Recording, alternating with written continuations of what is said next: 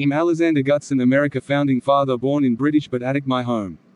In 1790 I retired.